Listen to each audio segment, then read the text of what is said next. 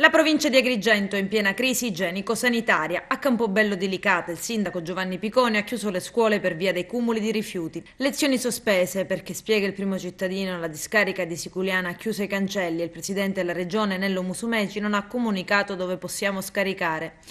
Ma non è il solo comune in ginocchio. A Canicattipi i romani hanno ben pensato di dar fuoco ai cassonetti, generando diossina che, commenta l'assessore cittadino al ramo Roberto Vella, può provocare tumori. A Sciacca non è stato ritirato l'indifferenziato che continua a far bella mostra di sé sotto i 30 più gradi della località barneale. Allicate turisti scappano, nel vero senso della parola. Un gruppo di persone voleva girare le vie del centro, magari fare shopping e mangiare un gelato. Una cosa impossibile da fare con il puzzo dell'immondizia che invade ogni strada. Appena scesi dal mezzo che li aveva portati in centro hanno fatto dietro fronte e sono ritornati in albergo. Ad Aragone il porto a porto è stato interrotto dal sindaco Gaetano Pendolino e questo sempre in attesa di nuove disposizioni su dove poter conferire. Scontati disagi e lamentele da parte degli abitanti costretti a tenere la spazzatura in casa.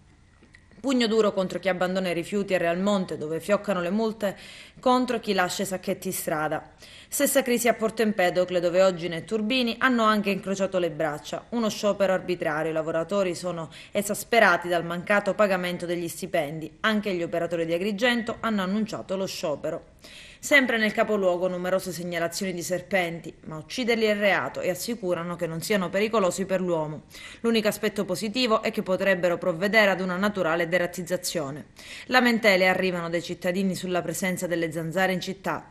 La zona balneare di San Leone è invasa da degrado e incuria.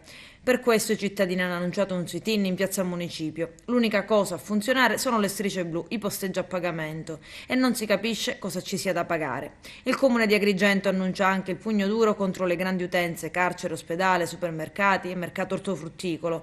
O faranno correttamente la differenziata oppure Palazzo dei Giganti gli addebiterà il costo dello smaltimento in bolletta. Buone notizie per gli esercizi commerciali di Agrigento, per loro è previsto un potenziamento.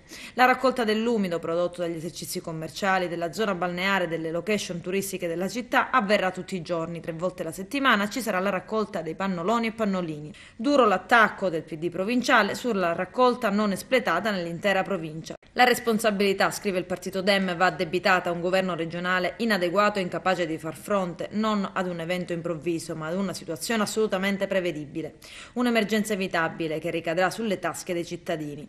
Ed ancora si legge nella nota, la causa è la mancata richiesta in tempo utile di una proroga al governo nazionale che consentisse a 66 comuni siciliani di continuare a convenire nella discarica di Siculiana Catanzaro.